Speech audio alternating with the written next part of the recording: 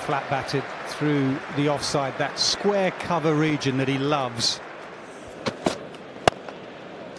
Duckett drives and drives beautifully down the ground.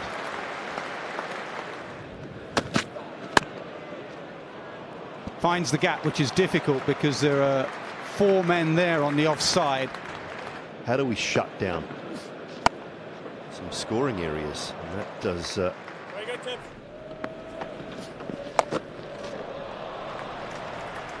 Mm, there's the other side. Well, that is going to go all the way, I think. Yes, Ben Duckett has really tagged that. Front. Flayed away.